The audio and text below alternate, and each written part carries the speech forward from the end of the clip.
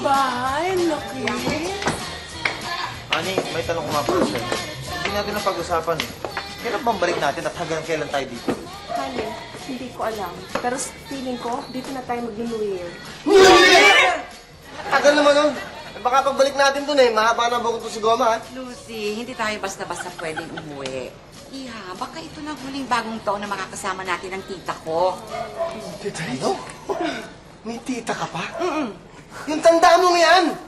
Nako ha? Ay, nako, sigurado ako. Ito na ang huling bagong taon niya rito. Ako, sa akin, okay lang na mag-New Year ako dito. Kasi, siyempre, dala ko na ang mga makutok ko. Alam mo, ang Prepare for New Year. galing-galing mo talaga. Alam mo, hindi kaya yan ang ikamatay ng lola mo. Hoy, hoy, Alam mo, hoy. mga sister, ayoko maglamay dito ha dahil bagong taon gusto kong mag-party dahil ayoko masayang ang aking ganda. Nako, sister, will masama ako sa party mo kasi dala ko ng father polka dance. Pambihira ka talaga, Mitoy, oh. Bakit ka ba nagdadala ng mga paputok na ganito? Anong mitoy? Mikoy! Ano na? Kaya naman, sa natin magkilala eh. Mitoy nga. Ano sinabi ko? Mitoy! Ah, Mitoy ba? Mali, Mikoy.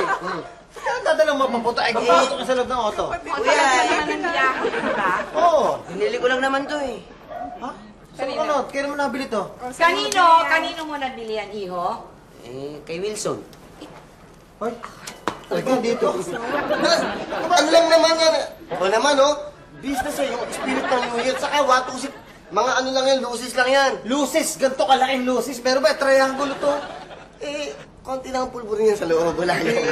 Talaga, tumobile ka na ba? Mami, dito. Bakit parang walang sumasalubong sa atin? Baka patay na. Testing muna natin, baka may magising. Meron. Hi! What's up? Rita, o kaya tang hindi ka nagpabanat this year sa mukha mo? Ha? Lucy, baby! Oo.